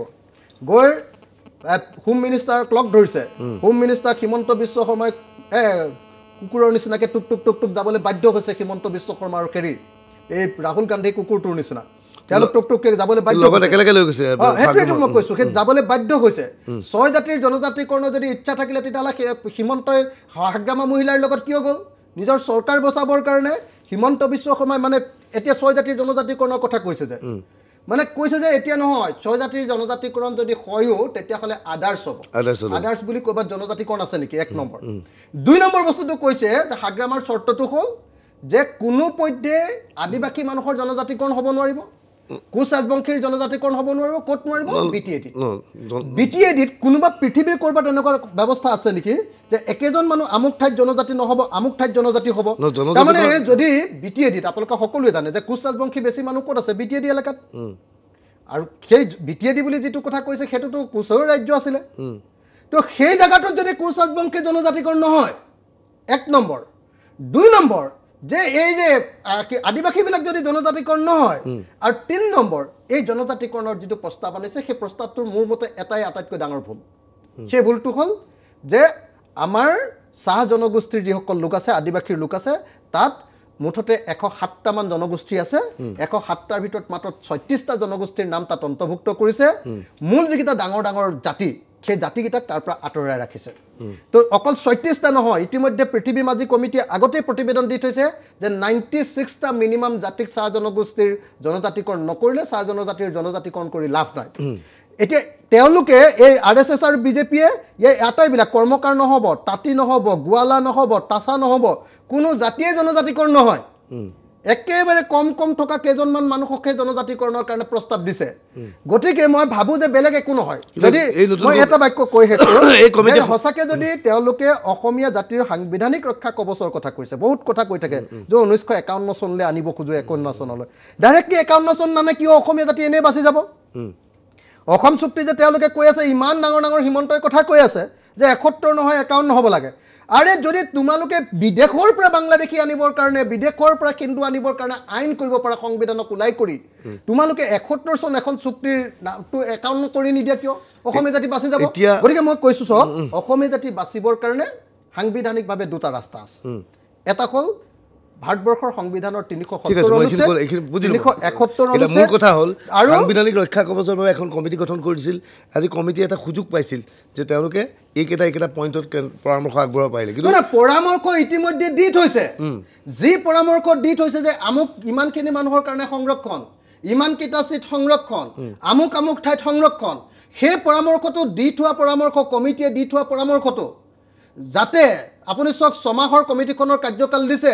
ছমাহৰ কাৰ্যকাল ছমাহৰ ভিতৰত প্ৰতিবেদন দিব লাগে আৰু অহা এঘাৰ ফেব্ৰুৱাৰীত এওঁলোকৰ চৰকাৰ ভাগিব নাইকিয়া হৈ যাব।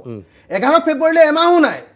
য'ত এমাহত চৰকাৰ ভাগিব তাত ছমাহৰ কাৰ্যকাল দিয়া এখন কমিটি কৰি দিলে সেইখন কমিটিৰ কিবা ভেলু আছে নেকি? তাৰ অৰ্থটো হ'ল এইটোৱে যে যেনে তেনে নাগৰিকত্ব সংশোধনী বিধেয়কখন পাছ কৰাই লৈ যাব খুজিছে অসমীয়া জাতিক মূৰ্খ সজাব খুজিছে অসমীয়া জাতিক ঠাণ্ডা কৰি দিব খুজিছে চেতনা লোপ কৰিব খুজিছে ভাগ ভাগ কৰিব খুজিছে ছয় জাতিক আঁতৰাই লৈ যাব খুজিছে আৰু আচুক আঁতৰাই লৈ যাব খুজিছে আৰু যদি সেইটোত ভৰি দিয়ে তেতিয়াহ'লে তেওঁলোক অসমীয়াই নহয়। ঠিক আছে।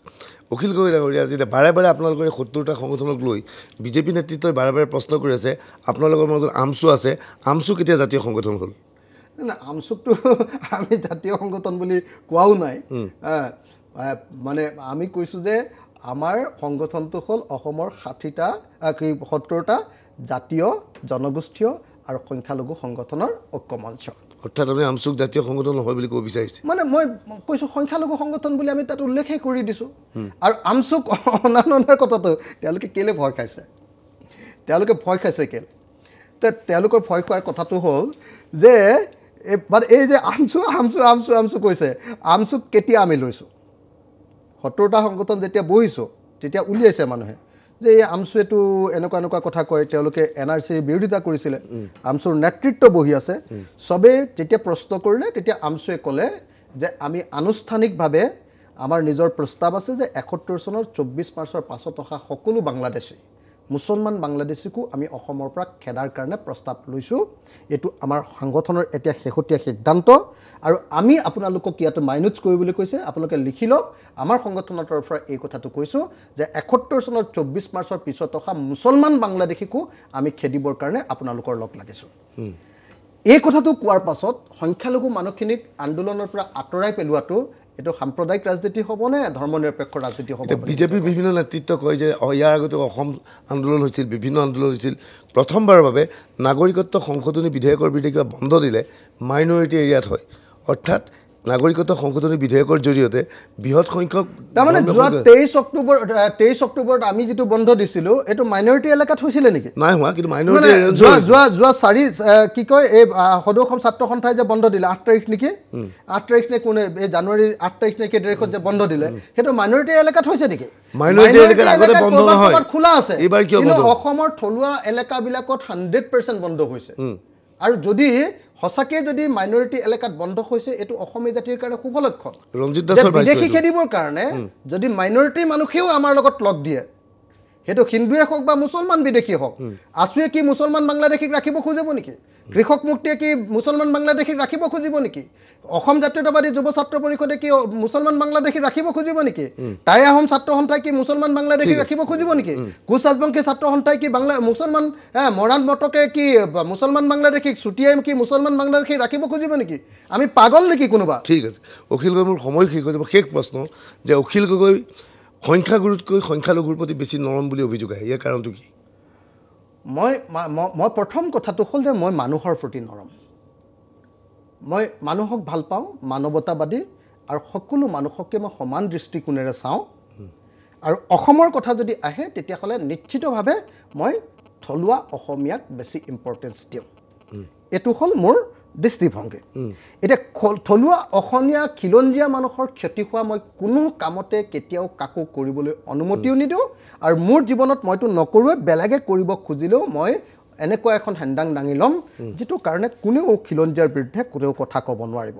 কিন্তু অসমত ময়েই একমাত্ৰ মানুহ আছোঁ যি চৰ চাপৰিত চৰ চাপৰিৰ ভিতৰত মাদ্ৰাছা বা মছজিদৰ ভিতৰত গৈ ৰাতি এটা বজাত মিটিং কৰি মই ক'ব পাৰোঁ।